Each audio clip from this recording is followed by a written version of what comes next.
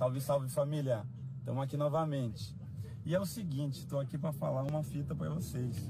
Que eu contei meus anos. Eu contei meus anos e descobri que tenho menos tempo para viver daqui para frente do que eu já vivi até agora. Assim dizem as estatísticas, as que apontam para mim. Eu tenho muito mais passado do que futuro já. Então já não tenho mais tempo para lidar com mediocridades. Na humilde. De igual. Mas eu não tenho mais tempo para lidar com as mediocridades. Eu não quero mais essas reuniões dos estudantes iluminados que desfilam como numa passarela de moda os egos dourados e inflados. O fantasma da eterna vaidade. Inquieto-me, fico de cara com os invejosos cobiçando o lugar de quem eles admiram. Hipocrisia é a homenagem que o vício presta à virtude. Eu já não tenho mais tempo para conversas inúteis sobre vidas alheias que nem fazem parte da minha. Futilidades e fofocas. Eu já não tenho tempo para administrar milindres de pessoas idosas e ainda imaturas. Nunca ouviram um não. Sustagem e Danone. Pra cima. Eu detesto pessoas que não debatem conteúdos, debatem rótulos apenas. As imagens. Você viu? Ele parecia o que ele parecia? Eu fiz uma pichação aqui em Curitiba. Eu pichei. Eu fiz uma pichação. Tô falando a imagem, o rótulo. Eu fiz uma pichação, ouça bem. Eu, Renato Freitas, vereador de Curitiba, fiz uma pichação lá no supermercado Carrefour por conta de uma manifestação porque o Carrefour, a rede, a partir do racismo e da violência institucionalizada, matou um homem negro lá no Rio Grande do Sul por racismo, por tiração. Quem é tá ligado, já entrou no mercado? Quem nunca de nós? Fala pra mim. O mercado é hostil. Segurança é treinado para estar tá farejando. Quis uma treta, o cara falou: então aqui tem a treta. Demorou. E eles são covardes e aproveitaram a deixa para matar o cara. Racismo, pilantragem. O rótulo da reportagem foi vereador pichador. Conteúdo do acontecido foi que eu escrevia no mercado a injustiça praticada em qualquer lugar é uma ameaça à justiça em todos os lugares. Martin Luther King. Foi isso que eu escrevi. Isso é o conteúdo. Essa é a mensagem.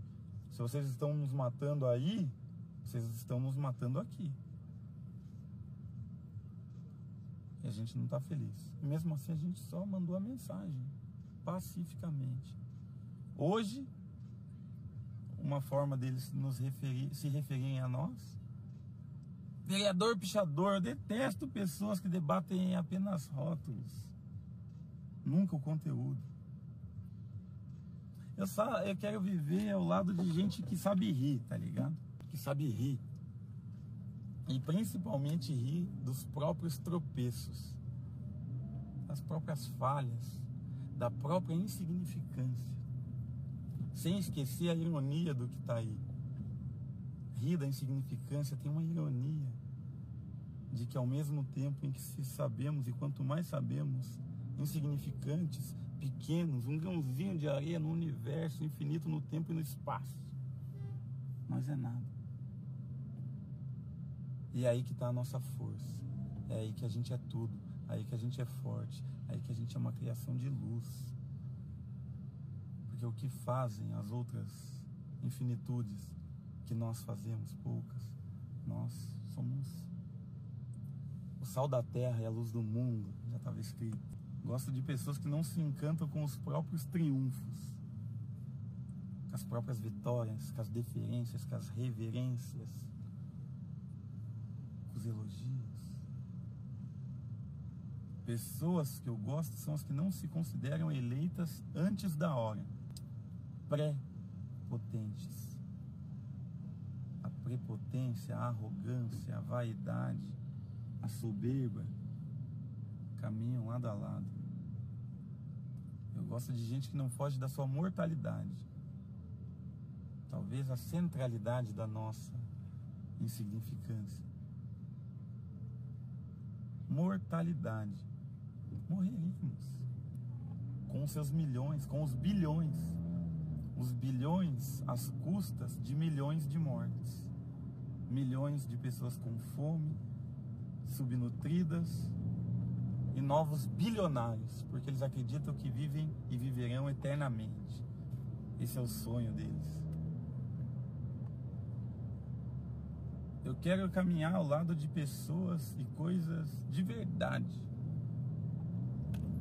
Mesmo que isso custe às vezes a solidão. O flerte com a loucura. As conversas em silêncio.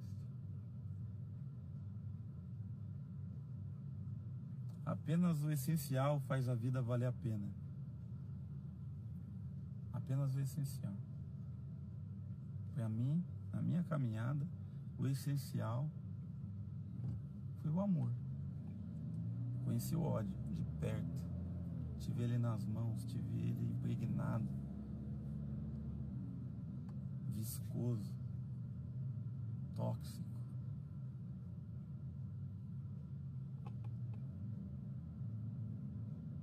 Porque a gente vem de lá, dos campos minados. 2 de novembro era afinados. Eu parei em frente ao São Luís do outro lado. E durante uma meia hora, olhei um por um. Viu que todas as senhoras tinham em comum a roupa humilde, a pele escura, o rosto abatido pela vida dura. Podia ser a minha mãe, e é a minha mãe. Que loucura.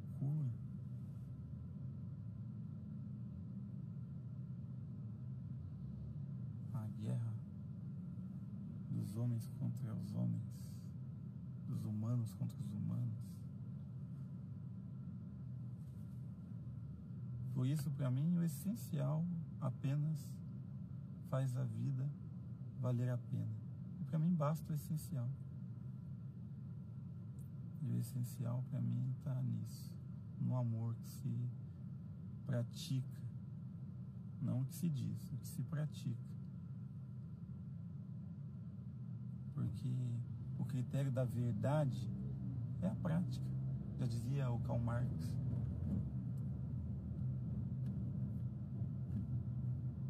E o amor é a verdade.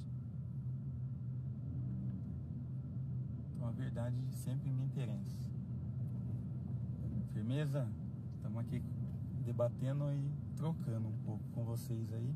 Eu vou deixar essa poesia salva ali, porque é uma reflexão que eu acredito que vale a pena aí compartilhar.